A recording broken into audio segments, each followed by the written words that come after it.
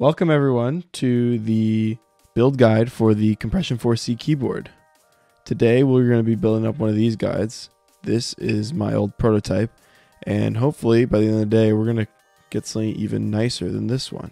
This build guide shouldn't take too long, but I'm going to start by covering what components people are going to need to build your own 4C. The first thing you're going to need to build a 4C is going to be the PCBs. So you're going to need a left and a right PCB. These come partially pre-assembled from compression keyboards, or you can also get a uh, manufacturer to make them for you with the design files. Come with the diodes, power switch, and a bunch of other stuff pre-installed. Same with the case. It's 3D printed and you can buy it from compression keyboards. Uh, it comes with all the hardware that you need to build the case. And you can also build the travel case with some magnets that also come pre-included. You'll also get some display covers if you purchase the 3D printed kit, and those will help with your displays. If you opt not to get displays, I know they can be a little expensive, and some people just don't like the look of them. You can get display covers that don't actually have any display cutouts, and they'll still look really good. If you happen to have your own 3D printer at home, ignore all of this. Go to the description, go to the GitHub, and download all the files and print them yourself. But if you don't have a 3D printer, Compression is going to be selling some really, really nice cases like you see here. What else are we going to need for the build? Well, we're going to need some hot swap sockets. These are the sockets that are going to allow us to take on and off switches at will. So if at one point we decide we want different switches, we can just pull them right off, no soldering required. But we are going to need to solder these to the board. We're also going to need um, some batteries. So you're going to want two of these little batteries with the JST 2.0 connector. I'll have some links to all these items in the description. You also might want some displays. I've got a nice nano, a nice view here. These nice view displays are super power efficient. They're only about 20 bucks. And you can build your compression 4C with one, two, or zero of these displays. At the heart of our build is going to be the nice nano. We're going to have one of these for each side of the 4C, and it's going to be handling communication with the computers through Bluetooth and through USB, it's got a USB-C port for charging, as well as connecting to a computer hardwired.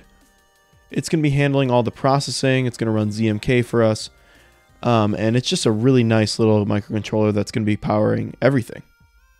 You'll see it used in a lot of other builds, Corne builds, other stuff like that. Also, we're going to want these Mill-Max headers for the Nice Nano. These are going to ensure that we get the exact height right of our controller package. As you can see on this prototype, the space between the screen and the display cover is really small. And so using these Mill-Max will guarantee that we get the right height. You might find Mill-Max headers labeled easy install. I don't really recommend those. These are pretty easy if you get the technique right, and I'll show you how to solder these on really easily. The easy install ones just might mess with the tolerances and the heights of our controller. The last thing is the most customizable part of the 4C, and that is the switches and the keycaps. So on this prototype board, I use these uh, Sunsets by uh, Low Pro KB in Canada. Really great switches, especially if you're doing a lot of heavy typing. I found that I type super fast on these, and I just love the tactile feedback they give. For the keyboard today, we're going to be using some, uh, actually reuse the box, these Pro Reds. They're lubed up, and uh, I spent about three hours individually lubing these. They're going to sound really good, and I think they're going to give us a great experience here. We'll do some sound tests at the end as well. You might have noticed that we've switched stations here. We're no longer on the nice desk with the uh, LTTstore.com desk pad. We now find ourselves at a different table with a sacrificial ESD uh, desk pad. Uh, you can see a couple of burnt holes from some uh, unfortunate soldering iron placements, but no worries about that. If this is your first time soldering, really do not worry about this project. It's going to be a really easy one to learn soldering with. We're going to start with uh, 58 of these little hot swap connectors, and that's what we're going to start on first. And you can see these gigantic, ginormous pads that we're going to fit these hot swap sockets onto and uh, they really are going to be quite the good practice if it's your first time soldering. I'm using here a TS100 soldering iron. This is quite an old model. I would recommend nowadays getting a Pinecil. They're virtually identical.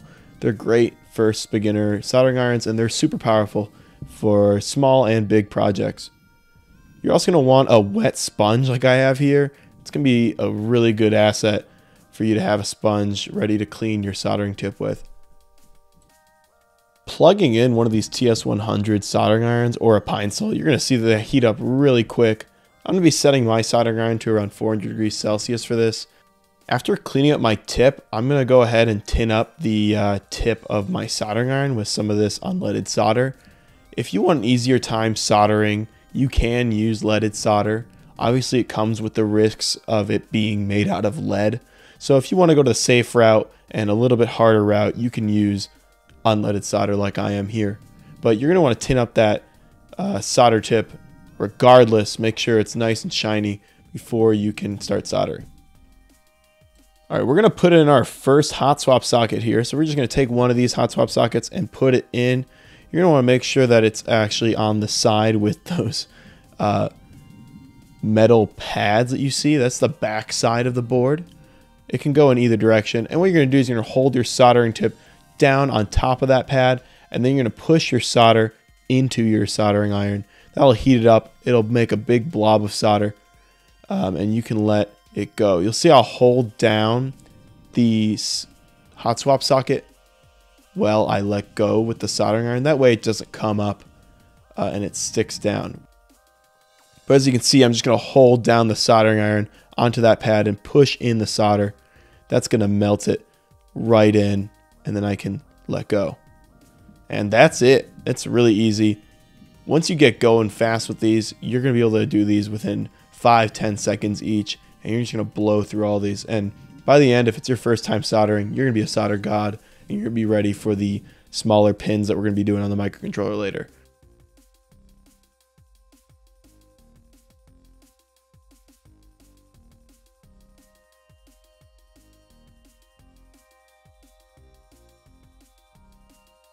Okay, up next is our nice nano controller. This is the probably most important solder jobs we're going to be doing, and we've got all that practice in from those hot swap sockets, so it's going to be no problem at all. First thing is dealing with these tiny little Mill-Max pins. Uh, my technique here is to put in one of those gold ferrules into the top and bottom of each of these sets of pins. Um, that'll let us kind of put just the corners in and we'll be able to kind of finish them up later. I'm going to take some tweezers and actually push these down in. Yeah, I recommend those tweezers fully. They're really going to help you at this stage. Get some flathead tweezers and uh, use those to push those ferrules into the corners of your Mill-Max pins. Once we got those ferrules into the top and bottom pins, we can go ahead and slot them into our PCB. And we're just going to push them into those holes and we're going to put our nice nano face down. So you should not be seeing that nice nano logo. It's got to be face down. There's a reminder on the PCB for you. You should not be seeing a nice nano logo when you solder this thing down. So we're going to go ahead, put it down onto those four pins that we put in. And directly after putting this on, we're actually going to flip the board over to the backside. And we're going to be soldering in the Mill-Max headers first. So we're going to use that nice nano on the back to kind of help us line this up. And we are going to solder the four corners of the headers on the backside of this board. So see all those pins poking through. We only need to do the corners right now. So this is pretty easy. You're just going to touch the tip of your soldering iron to the pin and then you're going to push in your solder just a little bit of it, and you'll see a little cone of solder build up. You want to see cones, you don't want to see domes. If you see a really like spherical shape, you're probably only soldering to the pin and not to the circle on the PCB. You want both of them getting a nice amount of solder connecting up that connection. We're only going to want to be doing the first four corners here. And afterwards, we can flip this thing back over and we should have those kind of pinned in place. Now that we have the header soldered down, we can go ahead and put in all the ferrules. So we only did those first four corner ferrules before. Now we're to put in the rest of them. So we're to put our nice nano back through those four that we did already. And we're to grab the rest of our gold ferrules and we're to push those in one by one into the header. This is to be a lot easier than those first four now that it's mounted down the PCB. We can just slot them in with our finger and then take our flat pliers and push them in. They'll give a little click. So you'll see me here going in with the pliers, just pushing them down. They go in real easy compared to those first four. And then once we get all of these in, we're going to start soldering them all down. Just like before, we're going to tap the soldering iron just to the pin and that yellow circle on the Nice Nanos PCB. And we're going to push in our solder just to put a little glob of solder onto that pin. We're going to want to see cones, not domes once again. So you're not going to want to see a sphere of solder on that pin. That means you've only soldered to the pin. You haven't soldered to the gold contact on the actual PCB. So once you get that cone in, you can move on to the next one. You can see I'm going real fast here. This isn't sped up. This is real time. You just touch, push in a tiny bit of solder, do the next one. If you happen to solder two pins into each other, it's usually a bad thing. You're going to want to break that up. You can just take your soldering iron, clean it off first, and swipe it between. Uh, and you can uh, kind of coerce that solder to uh, separate and make sure those pins aren't touching anymore. All right, we've successfully soldered all those pins in, those ferrules in, and now we're gonna do the back side. We're gonna do these headers. So we did the first four earlier. We're just gonna be doing the rest of them. And by this time, we should be a pro at these. Just touching the solder to the pin and pushing in a little bit of solder. If you are opting to put in the nice view screen, you're going to want to put in these five pins. They're probably going to be some of the easiest soldering stuff we're gonna, we've done. The best way I found to solder these is to put the pins and the headers together and then put them face down on the table. You can see me struggling to kind of flip this over in time, but you're going to want to put those headers down on the PCB with the pins on them to kind of prop it up and then put it down onto the table. After we finish up those headers, we're going to move on to the pins onto the front of the nice view. These five are pretty simple, especially after all the pins we've done so far. You do want to be a little quick about them. You don't want to be causing any heat damage to the LCD screen. I have held my soldering iron onto one of these screens a little bit too long and heated up the screen. I got some temporary artifacts on the screen, but they went away after just a minute or so of cooling down. But do be pretty quick about these. You don't want to cause any damage to your screen. And that concludes all the soldering we have to do for this PCB. Only thing left to solder is some heat set inserts on the case that we'll do in a moment, but we're all done except for plugging in the battery. Please, please, please do make sure when you plug in the battery that you check the plus and minus symbols on the PCB that they line up with the red and black respectively. If you get the polarity wrong on your battery, you are going to end up killing your nice nano microcontroller, so please be careful. Forgive me guys for not recording the build of the other side. I just didn't have it in me to set up the cameras for what is exactly the same thing. They are completely symmetrical. Um, I'm now putting in all of the switches we're going to be using. Once again, these are Pro Reds. I got these from Typeractive. Um, I think they're manufactured directly by Kailh, and they're pretty nice, really light red linear switches if you like that kind of thing. I spent three hours one day painfully lubing every single stem of these. They sound awesome. They also feel great. Pushing these in kind of feels like the victory lap for one of these projects. Once you get to this point, you're kind of feeling like, oh, I can't mess anything up. Well, do look out though for the pins on the back of these switches. If you put these in too fast, you might end up bending the pins and they won't actually go inside of the sockets that they're supposed to. So just double check that you aren't bending those pins when they get put in. If you end up bending one of these or they come bent from the factory, don't worry about it. Grab a tweezers and bend them back. They're pretty durable, so you shouldn't have any problem bending those back. We've got all those switches in and they look great. Now it's time to get onto the case assembly. And once again, if you've got your own 3D printer, I recommend printing your own case for your 4C. But if you don't have a printer or a friend with a printer, or you just like the look of our cases, check out Compression's website. We've got a ton of different colors that our cases come in, and they also come with all the hardware you need to build a 4C. So that's the screws, the threaded inserts, and the magnets. If you end up building your own case, I'll have linked in the description where you can get all the hardware you need. Right now I'm putting in the threaded inserts into the case. For this, you're going to want to lower your soldering iron's temp to around 200 Celsius. You don't need it very hot for this. You're just melting these in slightly to the plastic. So you're just going to put one of the inserts on your soldering iron and push it down into place, making it flush with the rest of the plastic. Next, we're going to be gluing in each one of these little magnets to our carrying case. So for this, we're going to be using some super glue and we're just going to use a tiny, tiny little bit in each one of these holes. Once we've got super glue in each one of these holes, it's time to put the magnets in. We got to be really careful to make sure that these magnets are all facing the exact same way. So to ensure the polarity stays consistent, we're to keep these magnets all stacked up together and use that stack to ensure that the polarity is the same. You'll see me popping these magnets in one at a time and then pushing them in with my flathead tweezers. And anytime I'm unsure of whether the polarity is correct, I'm going to run that stack of magnets down the side of the case to make sure that they're all pulling the same way.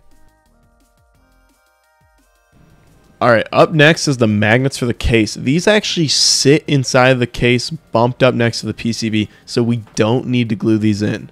It's really nice. Don't need to glue them in. If you need to take them out one time, should be able to get them out pretty easy without that glue. Here you can see me checking the polarity of the magnets that we did on the carrying case. We're going to match that same polarity by keeping that pole of magnets in the same direction as the uh, attracting direction. So we're going to pop these in one at a time just like we did before, making sure that the polarity stays the same. Now that we've got all of our magnets in, I've gone ahead and screwed in the keyboard and we're going to do our first test fit here of the travel case. So if you don't know how it goes in, you put in the top part first and it snaps right down with those magnets. And this one seems to be just perfect. If you are finding you're having a hard time getting it out of the carrying case, you might have scored yourself some really strong magnets. Don't fret, you can just take some out and uh, you will be back in business being able to pull your keyboard out real easy. All right, we've gotten to the fun bit. We're going to move on to keycaps now, but before we do so, I'm checking each and every one of these keys, making sure they're all registering before I pop on all these keycaps. All I'm doing here is I've actually got a complete version of the firmware flash on both of these sides, and I'm checking the words per minute counter on the right half. That's allowing me to see which ones are actually registering. You definitely could do this a much faster way without abusing the words per minute counter on the displays. But I've just opted to do this. If any of them don't register, probably got a broken pin or a bad solder somewhere. We can go ahead and fix that. Okay, now for the keycaps. These are some Chosfox keycaps. I'd never heard of this company, Chosfox, before, but I stumbled across their choc switch keycap set that actually has letters on it, which is some pretty hard thing to find. All my prototypes have been letterless, and I've been lucky to be able to memorize all the letters myself. But if you're looking for some lettered keycap set, they seem to be coming out more and more now. These Chosfox ones were pretty cheap and they ship straight from China, so I don't really know how well they're going to hold up, especially since they're not double shot.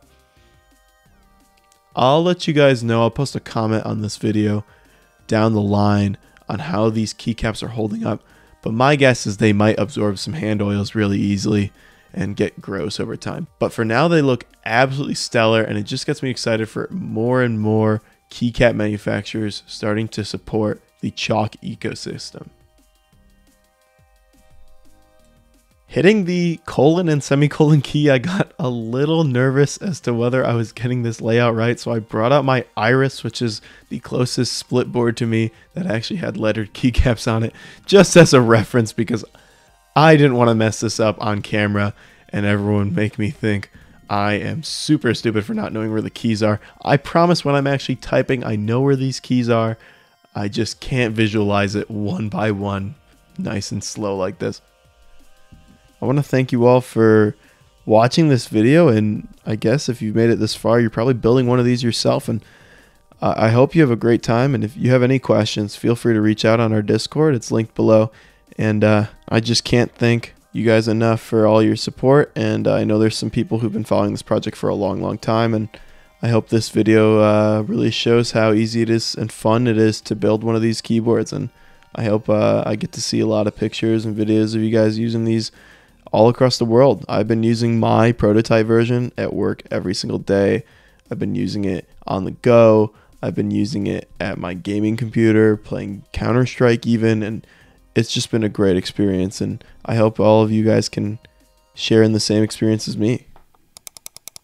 Anyways, here's a sound test. Thank you all.